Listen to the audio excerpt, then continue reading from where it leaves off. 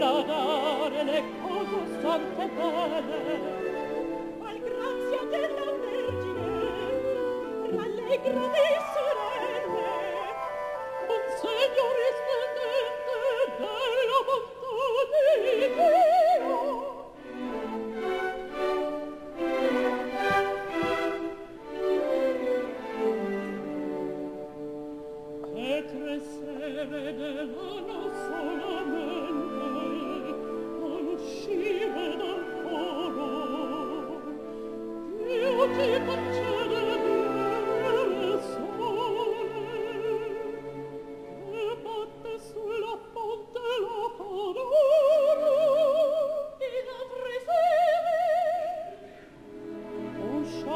troppo presto e sole alto